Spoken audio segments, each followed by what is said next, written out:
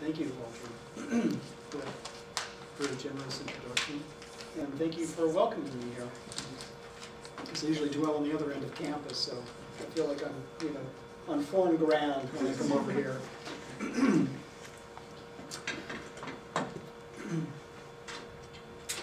One thing I should say at the outset is that uh, in working in this paper, working on the paper and, and uh, giving it the title that I did, I found that in some ways, um, the question evolved as I worked on it, and so I hope you won't feel that I'm um, engaging in an act of, uh, of disgraceful misrepresentation, um, because I think you'll see as, as I get into the paper that in some respects it's more, um, I talk a little bit more about how these objects ended up in museums than the why, although I touch a little bit on the why, but uh, you'll, you'll see as, as I get on into it.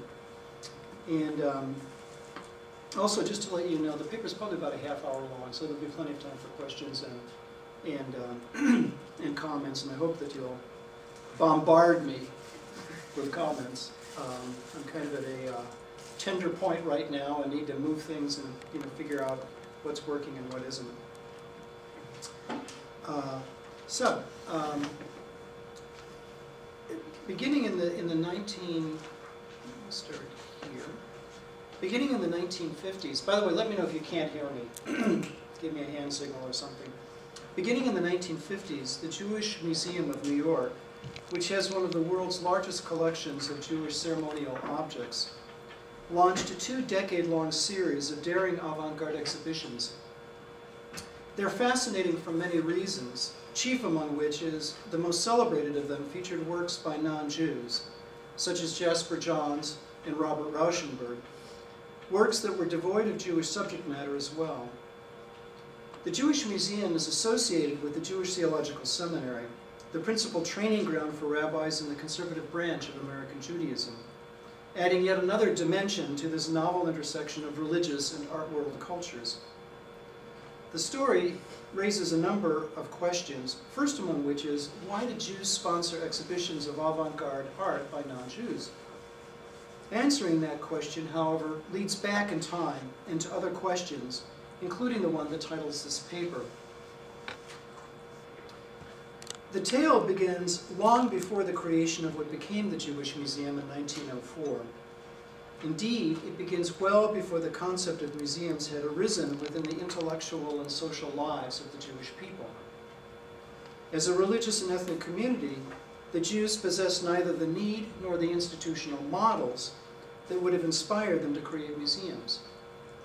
Further, with the exception of the ancient Museum of Alexandria, which was founded in 280 BCE. From classical antiquity until the 17th century, museums were usually private rather than public, and established by individuals rather than communities. The revival of the museum idea during the Renaissance was pursued by separate scholars, merchants, aristocrats, monarchs, and a few Christian clerics who possessed either the wealth or patronage to collect objects of all kinds, ranging from foreign naturalia imported by European explorers to luxury objects fashioned by skilled artisans. Only by the late 17th century did museums created by individuals begin evolving into public institutions along the lines we think of today. Entities that offered access to more than a handful of the founder's friends or subjects. Museums began to be established by government and non-governmental communities early in the 19th century, many in the wake of the Louvre's creation during the French Revolution. Created with the art collections of the monarch and works confiscated from the church and aristocracy, the Louvre was born as a symbol of, the, of France's egalitarian republic and its citizen sovereignty, displacing that of the king. The art now belonged to the public, and the Louvre's doors were thrown open to everyone. The Louvre, more than any other institution, transformed the museum idea into a civic monument that symbolized for people throughout Europe the locus of a people's patrimony and their free access to it.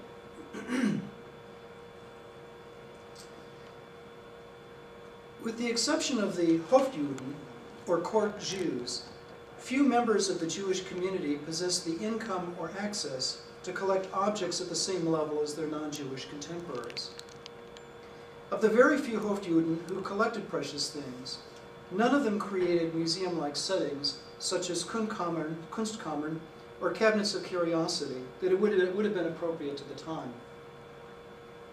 Further, although the Jews com comprised for some a, quote, abstract nation, it was one that spanned continents and transcended the boundaries of secular political divisions. On the other hand, as a religious and ethnic community, the Jews certainly possessed a coherent identity that had long found expression in material objects. However, they did not possess the degree of ethnic or historical consciousness, a kind of distancing from their own traditions that would have led them to perceive their objects, particularly their ceremonial objects, as anything other than the necessary accoutrements of religious rituals and sacred observances. Yet that particular kind of consciousness would be an essential precondition for Jews to enter into the process of deracination. That is, a shift within the Jewish community from regarding ceremonial objects as existing solely for the purposes of religious observances to an understanding of those objects as visual evidence, as works that ought to be displayed for others to see. There were two changes that had to occur, both of which resulted from the Jewish people's confrontation with modernity. One was triggered by the Enlightenment and the gradual absorption of its tenets by a number of influential Jewish thinkers, particularly in Germany, beginning with Moses Mendelssohn.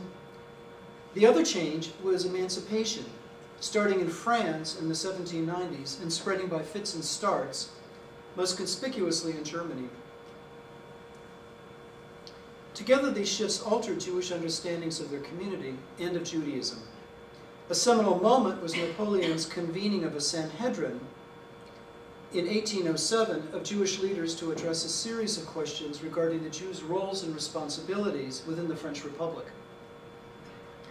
Their answers were buttressed by the leaders' assurance that the Jews did not form a nation within France, but rather a community of co-religionists who were also loyal citizens of the French Republic. As one of Napoleon's commissioners commented at the time, quote, the Jews ceased to be a people and remained only a religion. The transformation was not quite that simple, however. Before Jews received the rights of citizenship, one scholar observed, Judaism was not a religion, and Jewishness was not a matter of culture or nationality. Because Judaism in its pre-modern form was both a closed world and an integrated totality, it was all but impossible for the average Jew to imagine a state of religious being that could be disaggregated into a public and private, uh, into public and private spheres. With emancipation, it became possible for Jews to live in public as, for example, German citizens, and in private as observant Jews. Yet paradoxically, the social opportunities that accompany participation in the public institutions and civic arenas of the nation state heightened the Jewish community's awareness of the foreignness of its religious rituals to the, to the surrounding Gentile society. The distillation of Judaism into a religion, that is, as an aspect of Jewish life that can coexist with other religions within the ideological as well as temporal boundaries of the modern state, required far more than emancipation. It necess necessitated a rethinking of, Jew of Judaism by Jewish scholars. Oops. What I'm showing, by the way, are various Jewish ceremonial objects, uh, which I'll of which I'll show a few more before we get into the exhibitions. That rethinking that I just referenced was led by a group of Jewish intellectuals in Germany who drew together in the 1820s to form a loosely organized scholarly society and journal. they came to be known collectively by that publication, the Zeitschrift für die Wissenschaft des Judentums, or the Journal for the Science of Judaism. As a school of thought, the Wissenschaft des Judentums re represented the advent of a new kind of historical consciousness within Judaism. New because it drew on, but separated itself from, an unbroken lineage of rabbinic learning that began in antiquity after the Second Temple's destruction in 70 CE, and the preservation, interpretation, and transmission of religious texts and oral traditions. Clearly, subsequent generations of rabbis possessed a sense of the Jewish people's history. Yet rabbinic scholarship sustained a style of textual analysis that remained intrinsically and flagrantly ahistorical. The characteristic of the Wissenschaft des Judentums that would differentiate it from previous Jewish learning was its position outside that rabbinic tradition, approaching it with the discerning but cold eye of the scientist. Wissenschaft scholars dispassionately studied Judaism and its texts with the tools of comparative history and uh, literary analysis, drawing on texts and methods that came from outside the world of rabbinic tradition. Thus, Rabbi Bar Fassel study, uh, analyzed Jewish civil law by comparing it with the structure of Austrian civil law. In the process, Fassel realized, and I'm quoting, I studied Talmud before I occupied myself with the law codes of the modern period. And I know that rabbinic law became clear to me only by way of the latter. The authors of rabbinic law lacked the technical terms to make the various nuances, gradations, and differences clear and distinct. Scholars attributed the formation of the Wissenschaft des Judentums to many causes, as well as opportunities associated with emancipation. One was advocating the Jews' legitimacy to secure the fruits of emancipation alongside other citizens of the emerging nation states of Europe. Another was modernizing Judaism in keeping with the Jewish people's new status, the various modernizing schemes leading to the formation directly of Reform, Conservative, Orthodox, and ultra-Orthodox denominations in Europe and America. Regardless of the purposes that impelled the Wissenschaft des Judentums forward, underlying them was a degree of alienation from rabbinic learning that, that, that uh, in turn increased self-knowledge. To make Judaism comprehensible to the non-Jew required much more than a literal translation of ancient texts. The texts and institutions, the value system and thought patterns of Judaism had to be expounded and mediated in conceptual terms indigenous to the intellectual world of the West. And it was precisely this activity of conceptual translation which in turn illuminated many a facet of Judaism and to which the Jewish insider, up to, up to now, had been utterly oblivious. Scholars who dismiss these expositions as apologetics, written merely with a view to advancing the cause of emancipation, obscured the insight that comes with distance.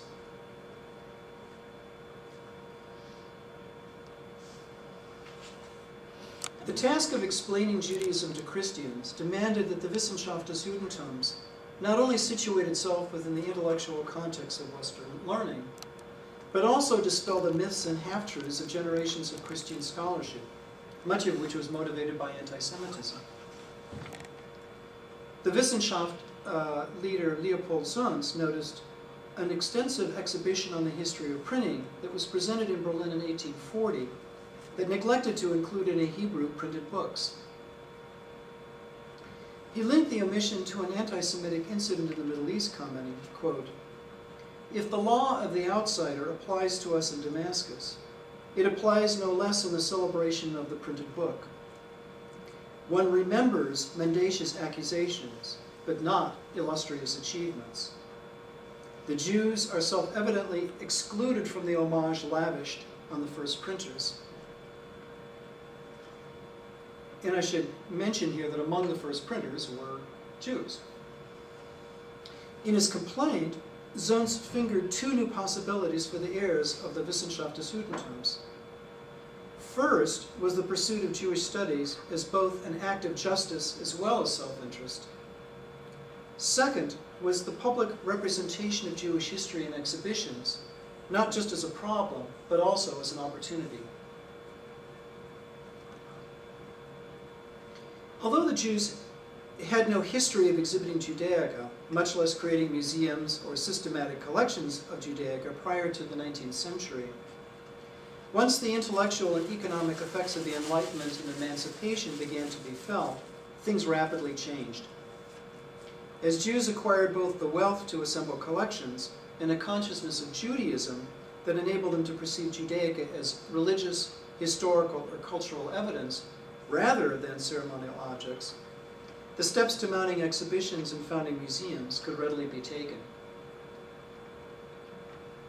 At this point, however, it's important to note that the Jews were ill prepared to present Judaic in public settings.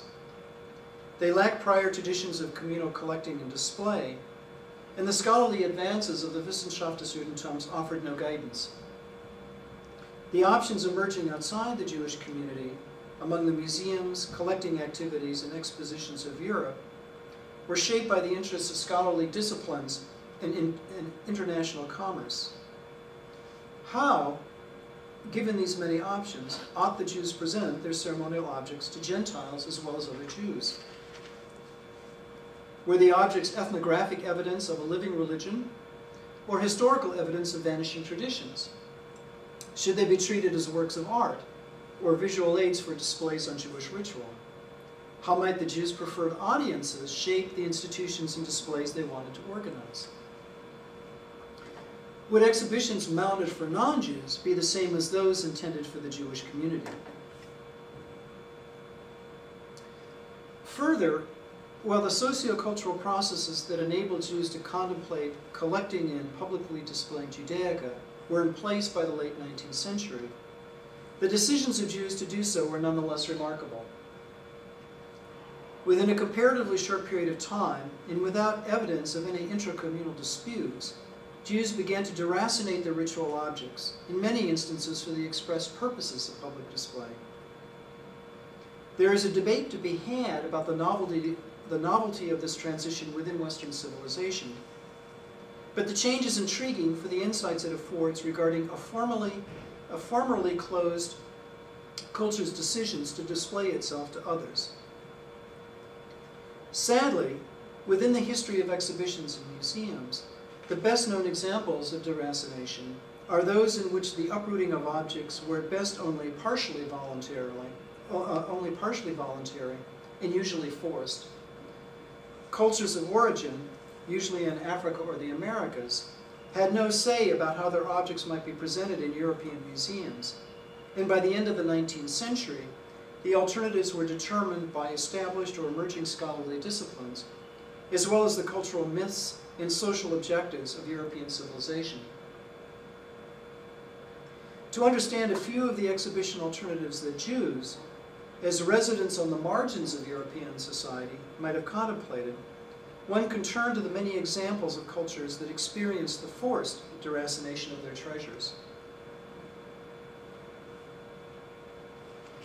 Starting at least as early as the Renaissance, there is evidence of settings in which the valued objects of Europe's others were collected and displayed. Those objects, which voyages of discovery and colonization brought to Europe's shores, were initially presented as curiosities, trophies of conquest, or subjects of well-intended, if misguided, inquiry. By the end of the 19th century, knowledge of the cultures of origin advanced to the point that works uprooted from Africa, East Asia, and the Americas could be presented in exhibits or dioramas that conveyed some sense, even if very limited, of the settings in which those objects were created and used. For the most part, however, outmoded taxonomic systems based on typologies of form rather than use continue to prevail. Taken together, these exhibit alternatives continued uh, constitute a poetics of display that reveals how different exhibit methods can affect how we perceive objects. An innovative 1988 exhibition titled Art Artifact that was presented at the Center of African Art in New York vividly explored the poetics of display. It also illustrated some of the alternatives that would have been available and perhaps known to Jews organizing exhibitions in the last few decades of the 19th century. The objects presented in Art, Art Artifact were freestanding posts created to honor ancestors by the members of the Mijikenda, a constellation of nine tribes who dwelled uh, at one time along the coast of, of Kenya. In the exhibition, they are shown in a number of ways. Four are particularly relevant to this discussion. The first is in the manner of a cabinet of curiosity, where the post is casually set in the corner of a room, furnished with a variety of more or less related objects. And um, it's right, if we see, it's right here. There is no sense of an organizing principle at work, and the overall effect is closer to a trophy room than a museum. Next is a typological display that appears, where works that appear to be at least superficially similar are presented in the same space. Here there is an organizing principle. It's one of facilitating ethnographic or aesthetic comparisons of like objects as a means of building knowledge and the capacity to discern differences in meaning and craftsmanship. The third is an ethnographic installation that presents a solitary Mijikenda post alongside other culturally related objects. It's a step toward it's a step towards contextualization based on the assumption that related works though formally different, will yield an understanding greater than the sum of the parts. Last is a natural history museum style diorama that shows, ostensibly from a Mijikenda tribesman's perspective, how a memorial post's actual use in its place of origin might be presented. For reasons that warrant further study, when Jews began to exhibit ceremonial objects, they relied primarily on just one of these alternatives. The earliest documented exhibitions of Judaica occurred within less than two decades of each other, between 1878 and the late, 18, uh, the late 1890s. All were inspired by the possibilities of the large exposition, vividly demonstrated by the famous inaugural endeavor, the Great Exhibition of the Works of Industry in All Nations also known as the Crystal Palace exhibition. It was presented near London in 1851 and hosted 13,000 exhibitions, or 13,000 exhibits and installations, and 6 million visitors during its six-month run. The first Judaica exhibit was mounted in Paris 27 years later, in 1878, as part of the Exposition Universelle uh, that was for the arts, industry, and agriculture. Uh, and the uh, exhibition site was both this very large complex on the left as well as this building that was created on the right, the Palais du Trocadero, which was created, both were created especially for the exposition.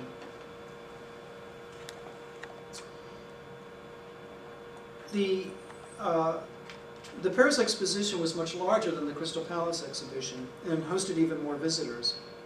The Judaica display was presented in the Palais du Trocadero and consisted of selections from the collection of one individual, Isaac Strauss, an Alsatian Jew by then living in Paris.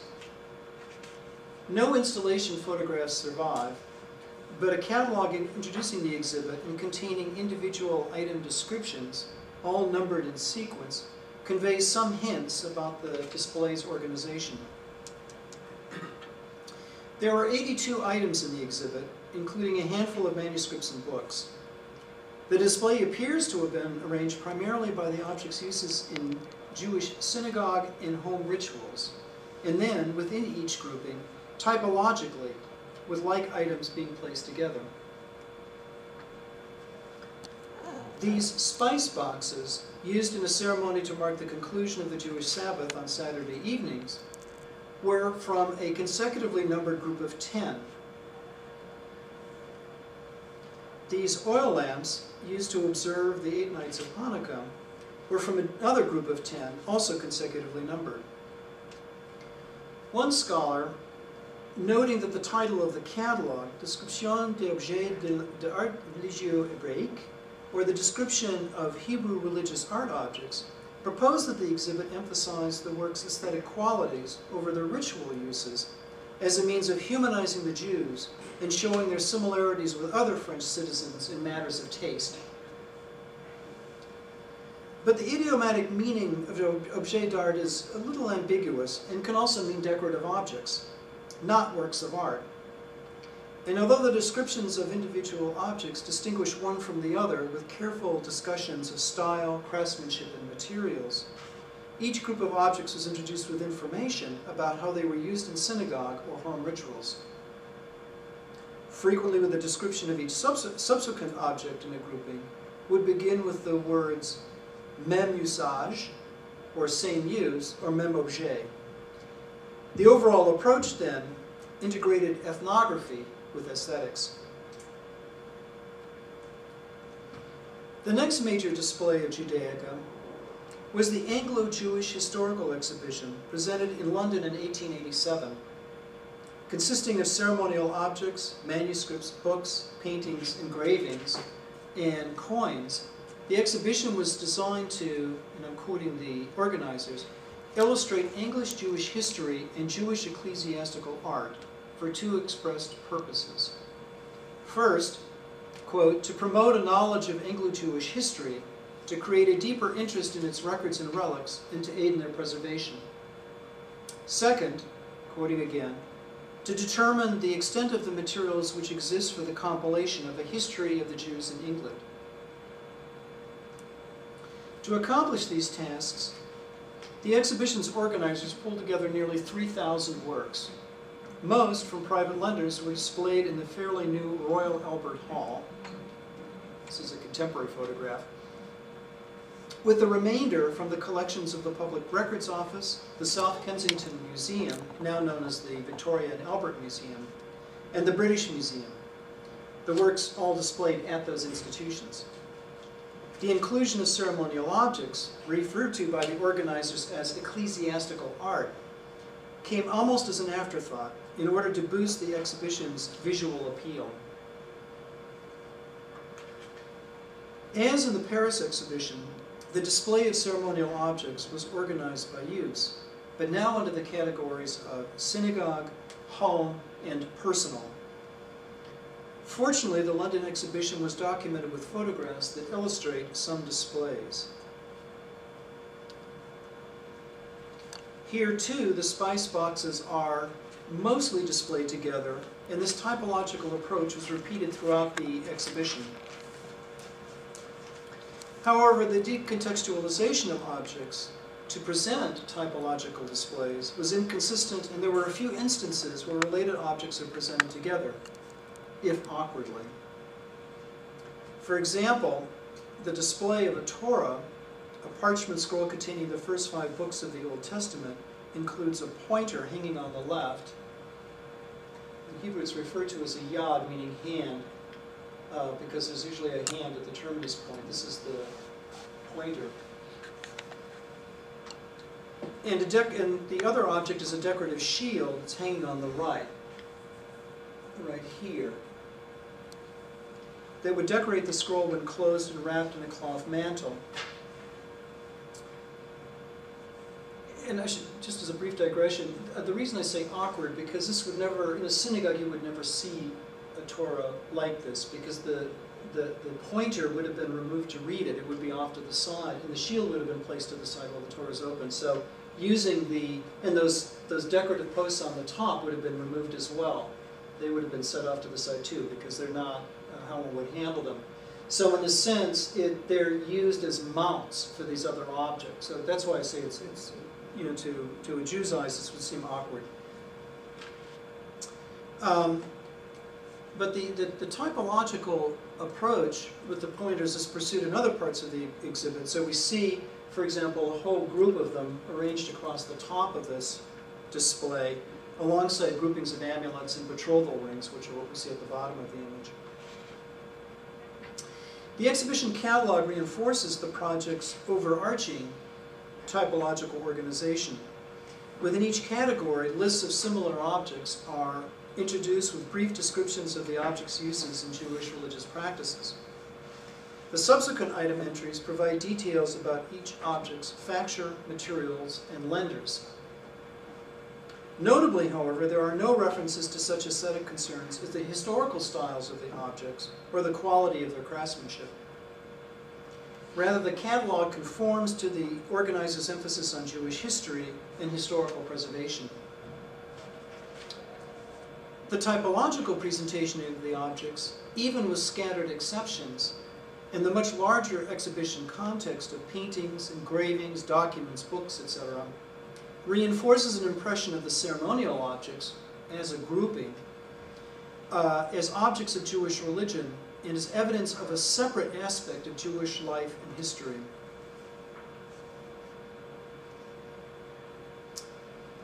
The presentation of Judaica at the World's Columbian Exposition in Chicago in 1893 took a somewhat different turn, thanks to the direction and responsibilities of Cyrus Adler, an observant Jew who was also the first American to earn a doctorate in Semitic studies. After completing his degree in 1888, Adler joined the Smithsonian Institution and a year later became the curator of historic archaeology and historic religions at the National Museum. Between 1888 and 1897, he supervised the United States government's participation in four World's Fairs, each hosted in, a, in an American city. The Chicago effort was the largest and most representative of the expositions. For each, Adler organized displays based to a limited extent on materials from the National Museum's holdings, which themselves were quite limited at the time. It supplemented with many more works bor borrowed or purchased from dealers or private individuals, including one especially prominent Jewish collector. After the expositions concluded, many of the objects entered the permanent collection of the National Museum. It was in this manner that Adler helped establish the anthropology department of the National Museum and museum divisions of historic religions and Old World archaeology, and within them important collections of Judaica.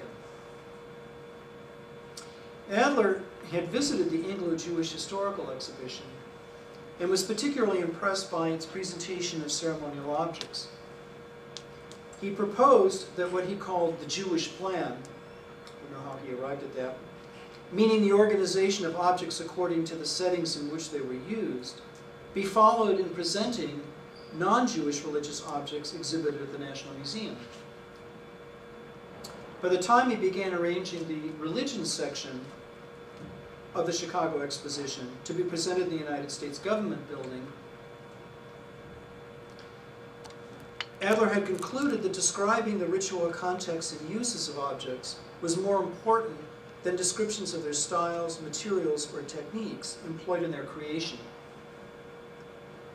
However, the challenge, as Adler later noted, was, quote, whether the abstract ideas which group themselves about the word religion could be adequately or even fairly portrayed through ceremonial objects.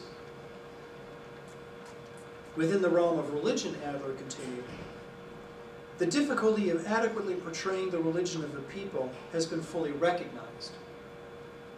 That of the two great divisions, creed and cult, it is cult which most readily lends itself to museum exhibition. Thus, for the Chicago exposition, and the unfortunately we don't have good installation photographs of them, but the the Judaic installation was at the back of this installation, which include included works representative of other cultures, religious materials and otherwise. and then we have the same in a in a uh, exhibition exposition in Tennessee, where the Judaica is at the back, and along some cases here which are not well shown in here. Uh, also in the context of other uh, world religions. In the installations, Adler utilized the techniques of comparative ethnography to illustrate the ritual practices of each one. Jewish ceremonial objects were presented with extensive labels explaining religious uh, observances with which they were associated and how specifically each object was employed in them. During this period, Adler also grew into an opinion leader and activist in the East Coast Jewish community, including his hometown, Philadelphia. Just a few years after these expositions, in 1902, Adler was tapped to chair the Board of Trustees of the Jewish Theological Seminary, which had just been revitalized. Between 1902 and 1904, Adler also served as the seminary's de facto head while it looked for a new president. Sometime around 1904, Adler's cousin, Mayer Sulzberger, sent a number of ceremonial objects to the seminary, later writing that he donated them as, quote, a suggestion for the establishment of a Jewish museum. Sulzberger, a prominent Philadelphia judge, philanthropist, bibliophile, and Jewish community leader, had packed off the objects as part of a much larger gift of Jewish books and manuscripts. The seminary had just dedicated a new building in 1903, and Sulzberger's gifts were to augment and vastly expand the seminary's library.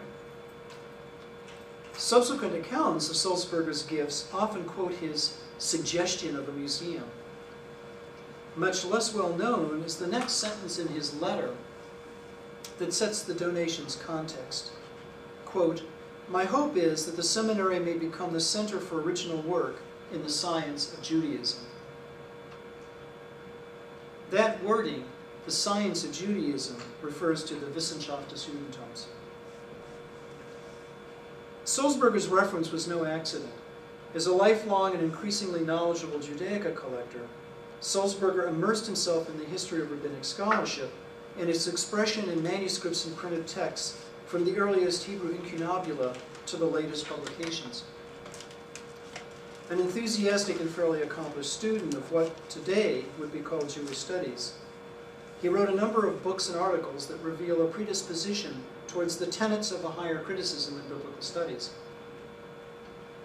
Sulzberger was also a leading member of the Philadelphia group, a circle of friends and associates who established a number of benevolent and educational institutions whose values were informed by a distinct vision of American Jewry as a united community of co-religionists who shared similar intellectual, spiritual, and material needs. They helped create in America settings in which the scholarly program of the Wissenschaft des Judentums might flourish. Several journals, the Jewish Publication Society, Dropsie College, and the Jewish Theological Seminary. Despite all these activities, however, Sulzberger never explained how he thought a museum of Jewish ceremonial objects might figure in the science of Judaism. The notion that a Jewish seminary, would, whose primary purpose, after all, was training rabbis, should have a museum of ceremonial objects did not strike anyone as exceptional.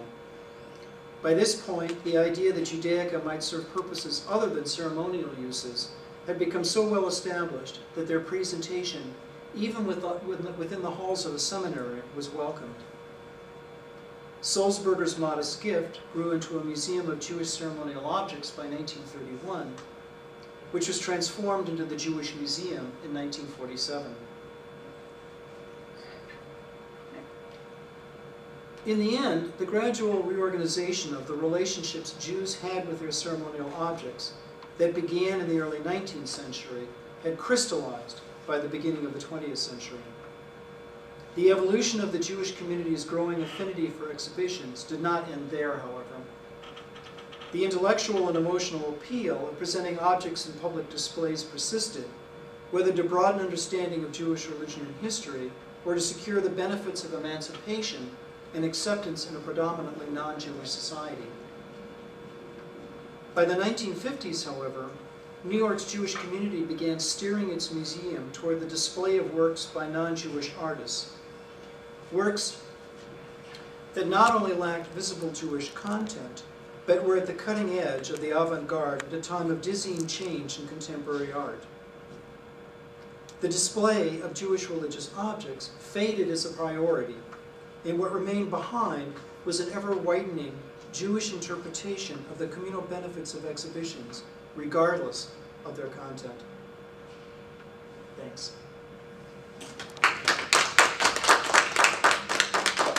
This last work, by the way, is um, the goat with a tie around its middle on a, on a platform is by Robert Rauschenberg. It's a work called Monogram, and uh, it's one of his most celebrated works. Uh, in, since a little bit of extra time, when the Jewish Museum started its avant-garde program, do, does, does, do you know the artists Jasper Johnson, Robert Rauschenberg? Are they familiar, kind of? Um, they're, they're now considered probably America's most prominent um, 20th century artists, along with maybe Jackson Pollock and Willem de Kooning. And um, the Jewish Museum gave the first solo exhibitions in a museum to both Johns and Rauschenberg, and then also presented the first solo, uh, major exhibition of minimalist art as well. So these exhibitions were quite uh, adventuresome and, uh, and somewhat controversial. So, questions or comments? Yeah. I think I have several. Let's, let's see if I can remember all of them.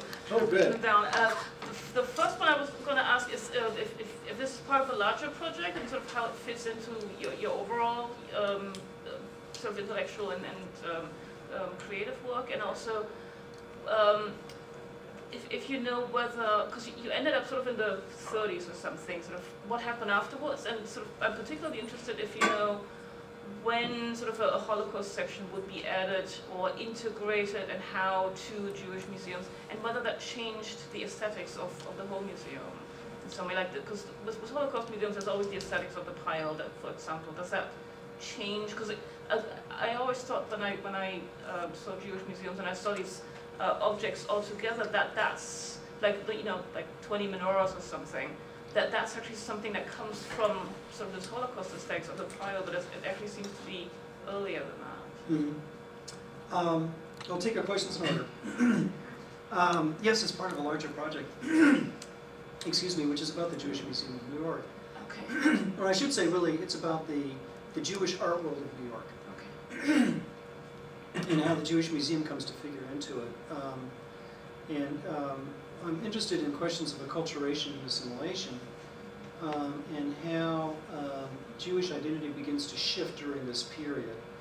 Um, the um, well, I'll just leave it at that. So I, that's the, the larger framework. And it, it, what I found is a, as I'm looking into um, the display of Jewish art or objects, however one wants to talk about it, I found myself going farther and farther back in time, and that led me to start looking at these exhibitions. And there has been a fair amount of writing, some writing about the, the exhibitions that I'm talking about. But the, but, but the pieces have all been done either by uh, historians or anthropologists uh, out of the context of museum studies, which is one of my areas of expertise. And so what I see when I'm looking at their writing is that they don't realize all of the uh, other patterns that are quite evident in these exhibitions, and the Jews are clearly looking at what's going on around them and they're making some choices, so they're not inventing these things. It leads to one particular issue which is quite interesting, and I'll talk, I didn't touch on it here, um, and that is the use of the word art in talking about objects, because it immediately leads to this very fraught debate about why wasn't there any great Jewish art and why weren't there great Jewish artists and well it was because the Jews were always wandering or they didn't have money or you know, for whatever reasons. And um, that debate comes up um, in these various articles about those early exhibitions, which is one of the reasons why I digressed about that objet d'art um, uh, remark by, the, by, by, a scholar. Um, that, that debate completely obscures the fact that the Jews themselves didn't think about it that way. I mean, it's like, it would be like, I think, talking with African tribesmen about, well, wow, you're, you're, you know, these are beautiful art objects. And it's like, what? You know, or Native Americans. I mean, think about it that way. You're using it in other ways. And I think that we see still traces of that in these early exhibitions. So the, you know, the, the, this discussion about Jewish art comes later, and it's an imposition of a, an ideology that really has nothing to do with the main story. Anyway, back to your question. Um, so what happens is the museum grows by fits and starts. uh, within the precincts of the Jewish Theological Seminary, which I should say is on the Upper West Side of New York, um, still at 123rd and Broadway, which is enlarged over time. and at one point when they enlarge it, they create a space for the museum, which is, the, which is called the Museum of Jewish Ceremonial Objects. This is 1931. And that remains so until 1947. It changes because in 1944, um, a prominent benefactor, uh, Frieda Schiff Warburg, whose husband, Felix Warburg, was a collector uh, and major philanthropist, gave the family mansion to the seminary to be used as a museum and for other purposes. And the museum is on the east side. It's on Fifth Avenue, just a few blocks up from the Metropolitan Museum of Art. And uh, it's a large and elaborate neo-Gothic uh, home uh, that could pretty readily accommodate the, the uh, growing collections of the, of the seminary's um, museum. There's a connection here, by the way, with the Holocaust. We'll get to it Okay. in a moment. Um, parenthetically, the, by this point, the Jewish Theological Seminary is led by a new chancellor. His name is Louis Finkelstein. And Louis Finkelstein was very interested in um, a variety of different co- kinds of programs which would help explain the Jews to a non-Jewish community. They really wanted to, uh, he really wanted to involve Jews in the discourse of American culture and politics and, and, and, social change. And they had a whole variety of programs, the most famous of which was a radio program called The Eternal Light. Um, it, it, it in turn fostered a variety of other kinds of intercommunal, interdenominational projects. So the idea of moving the museum over to the Warburg Mansion uh, really fit in with his scheme and, and, and, and, and the vision, I think, of several of his colleagues at the seminary and his trustees and so forth. So there was, it was a kind of a notion of public outreach uh, enfolding uh, the idea of the museum. With regard to the Holocaust, um, objects do start flowing out of Europe prior to the Holocaust and prior to the Second World War as communities begin to feel endangered. And the most famous collection is a collection of the Polish community Danzig, which, which was, um, if you recall, invaded early, you know, in Anschluss actually prior to the war. And, uh, not in Anschluss, but in, in the expansion of, of, of Nazi Germany. And so the community leaders of Danzig uh, gathered up um, collections of Judaica, it's somewhere in private collections, but also in synagogues, and sent it to New York with the um, provision that if the community survived, that the objects would be returned. Um, well, the community didn't survive, and the objects remain.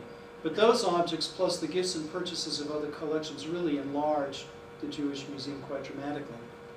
Last, um, how does the Holocaust change museums? Well, um, it, to an extent, it changed the, the handful of existing museums that existed, like the Jewish Museum, because they began to, um, well, for one thing, they have more objects to, to, to, to show, but, but for the first time, historical preservation and memory really became a major topic. Scholars talk about it in kind of loose ways. I'm not sure. I mean, I, I think in the Anglo Historical Museum exhibition story, there's, there is talk about historic preservation, so it is kind of an issue. There's a sense that at the very moment that emancipation takes place and the effects of the Enlightenment began to be felt, that already um, Jews are beginning to regard or treat or maybe even dispose of Jewish ceremonial objects. And so there's this, this tradition and, and you know, um, material culture that needs to be preserved. So that's there. But it's certainly not with anything like the sense of urgency that occurs after the Holocaust, or in the period leading up to and after the Holocaust. So you would see it in a place like the Jewish Museum, not because there's a separate section devoted to the Holocaust, but because of the language, the narrative, you know, that is used to discuss the objects begins to, to shift. You see that. Um, the, the other big change, which I think is much more apparent, is the creation of Holocaust museums all over the country. And they vary enormously. I don't, I don't know if you know them. I mean, in some instances, they're, they're um, like the Holocaust Memorial uh, Museum in Washington, they're devoted specifically to remembrance and to what, what happened in the Holocaust, what was lost in the Holocaust. Um, you know, just, it's just as telling the story as completely and vividly as possible. In other communities, there are Holocaust museums which um, tend to tend to unite um, Holocaust remembrance and memorialization with the preservation and display of objects. In some ways, to say this is what was lost. Um, probably that's about as concise an answer as I could give. And then we then it gets into a whole you know, other Mhm. issues, but yeah, it's fascinating. I have a couple Mm, questions. Thank you so much for, this is really very thoughtful and interesting, and it's a whole history that I know nothing about. Um, Just a couple comments. Mhm. Um, So you're asking this question about why did the Jewish Museum support non-Jewish art in, in this period in time? Mhm. So you mentioned this, pre- you know, kind of assimilation and acculturation at that time period, and being from a second generation in New England where they didn't speak the language, and I can tell you by the time I was born, my father, who was raised speaking only French, Mhm. um, did never sp- spoke French in the house. Mhm. So I think the pressure to assimilate is, you know, is probably really very strong. Mhm. Um, so that can't be underplayed. And the other question, or maybe comment that I have, is that in New York in the 1950s, it had become the center of the art world. So I could imagine that the people that were trying to draw attention to this museum, as all good boards do, would want to catch on that tale of look at how great the art that's being produced in New York is at this time period. And related to that is Clement Greenberg. He was, you know, a champion of abstract expressionism. So what, where does he fit in in terms of this museum? Because he was right there in New York, was a supporter of Rauschenberg and, you know, Pollock. And so I wonder how he, you know, did he have any political machinations with the museum? Yeah, that's a, that would be a really interesting thing to look into. Yeah, well, um, uh, let me go back to the assimilation identification question and then come back to the other. Um, the, the, you have a point about um, that relationship between assimilation, identification, and the, and the Jewish art world. It's, it's, it's true. It's a, it's, a, it's, a, it's a kind of complicated and fraught little zone, um, in part because uh, Well, I I think, I think the writing and theorization about identification, although you think it would be really extensive and there'd be a lot out there, it seems to me it's not actually very substantial. Um, And um, it's, it's, it's hard for me, based on that literature, or even what I've read in terms of, this is going to be an archival project, so I'm spending a lot of time looking at memos and letters and reports and things that are going back and forth, as well as what's out in the print media and really trying to trace the trajectory of different people's attitudes about these kinds of issues as best I can. Um, it's, it's pretty clear to me that the Jews who were most involved in the Jewish Museum and were instrumental in seeing it shift from a focus on Jewish ceremonial objects to showing art, and then, and, and I should say contemporary Jewish artists and Jewish ceremonial objects, and new, and, and promoting the creation of new Jewish ceremonial objects with the workshop and things like that. But those people were looking both inward and outward at the same time, so that they were very aware of what was going on in the New York art world. It's true.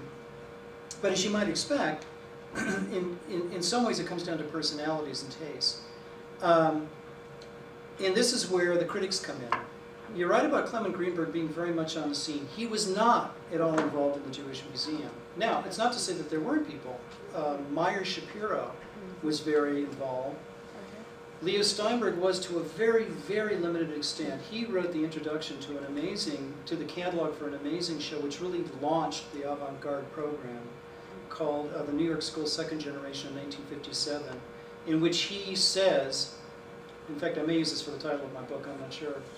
Um, he says that this exhibition of abstract art may have, and I'm paraphrasing him now, a certain aptness because the Jews, after all, are an abstract nation. It was that, that observation more than any others really set this project underway.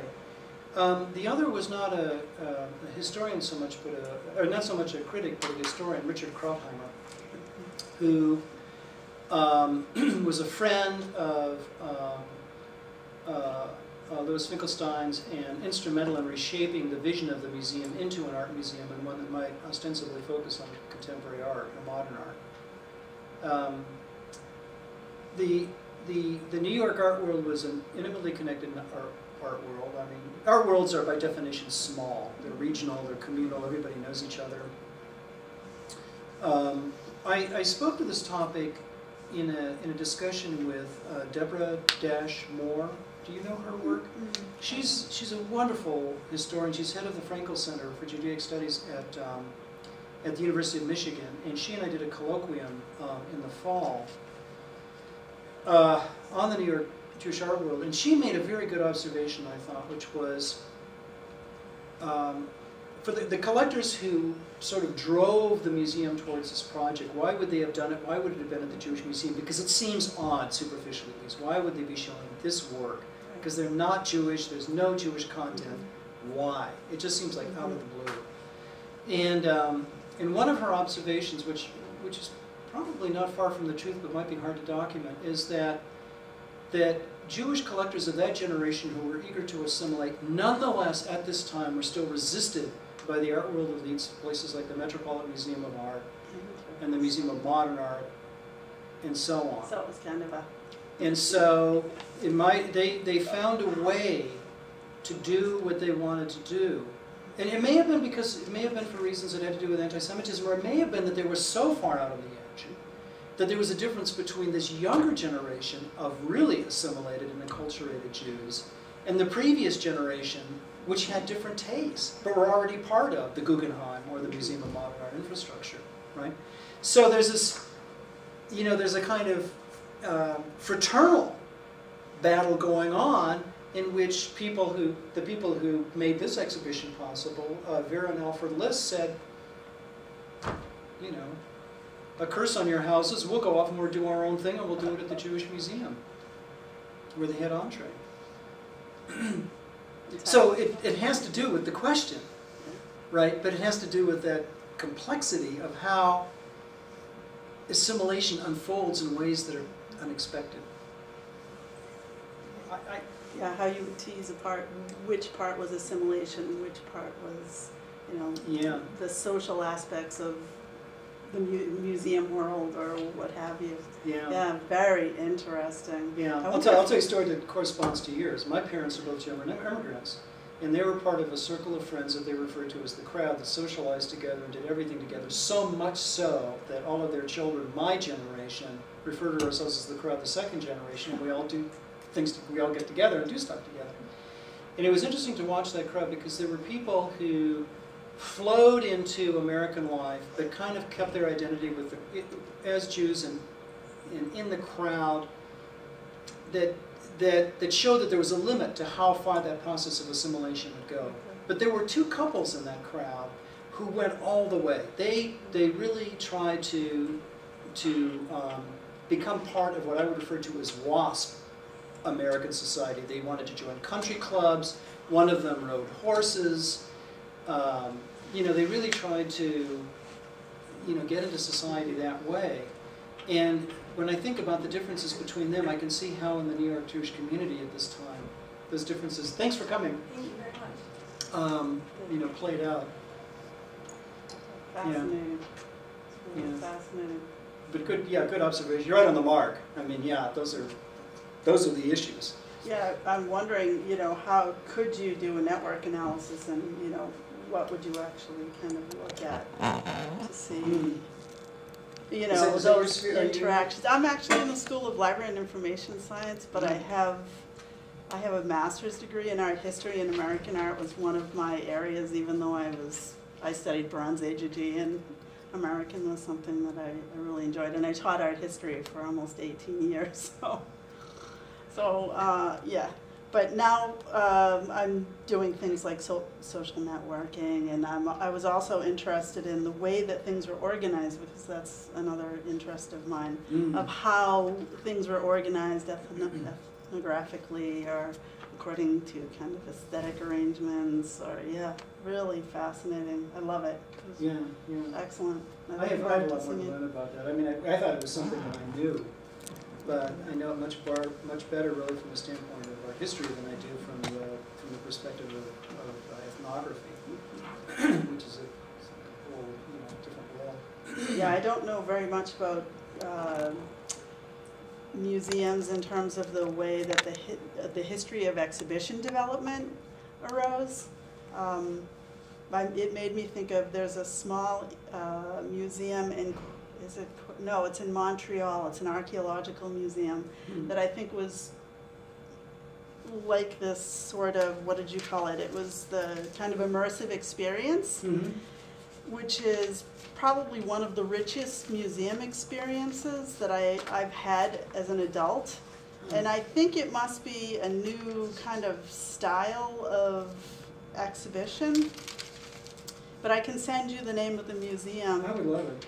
Uh, if you're interested. That was like kind of, it's actually richer, I think, than a natural history, what you're thinking of in terms of natural history, because it, it looks like that is kind of diorama situation where this had like lights and sound and, you know, d- human scale dioramas, and it was really wonderful. Yeah. I have, I was uh, just, I'm teaching a class right now at the Detroit Institute of Arts, a seminar, and I'm having members of the museum staff visit the class. And um, we got into a conversation about um, exhibit display techniques, and he used a a term which I've never heard before, but it- it, it, it may be appropriate, he referred to it as uh, exhibition theater. And it's the use of, um, you know, rising and falling lights and sound and so forth in exhibitions with normally just still objects that give them, that animate them in ways, you know, so, you know, this object will be lit and you'll hear a voice and then that light will go down and another object will be lit and so forth, so it kind of animates them. Um, yeah, that's very interesting. I didn't, you know, one of the things I was, had, in- I mean, I'm afraid the talk would get too long and I, one of the things I didn't talk about is that I don't think that, you know, dioramas ever had much of a, of a future, you know, in, you know, for Jewish objects, but period, a period room kind of installation absolutely would. You know, and at the Jewish Museum, they did for a while have some, you know, they'd set up like the room in a home or a room in a synagogue so that you could kind of see how these objects looked in situ. And uh, so that notion, you know, was out there as an option, but they didn't pursue it until much later. And isn't there, it's funny, I think the last time I was in the Jewish Museum was in maybe 2001 or 2002, and there's a contemporary female artist who creates kind of immersive environments. I cannot think of her name. She uses projected imagery and also real objects. This one I think was like crumbling. I want to say it was like a very apocalyptic Oh, oh, oh, I was, I was thinking of somebody else. Uh, I don't, I don't know. with if that would be crumbling buildings and but with projected images and sound as well. So Hmm. I'll have to I'll, I'll send that one to you too. I can Great. recall what it was. Seems Yeah. if Yes. you guys should get to know I know, other. I know. What's your name? What's your name? Joan Baudouin. I What's the I'll, name? Yeah, I don't know if I have a card. This is a brown bag moment. Because, um, Well, they keep coming. yeah, what happens um, often is that people who sort of working in separate departments, uh, they, they come to this kind of interdisciplinary setting. Oh, it's, And it's the most one important another. thing, it's the You most see- important thing the Humanities Center You does. see, so, Yeah, so no question about it. even though we had a small gathering, the two, pe- two people found each other. Yeah. Well, this is great. Yeah, well, we'll have to do something. Really enjoy. Wonderful. So it's really nice meeting you. Yeah, nice to meet you as well.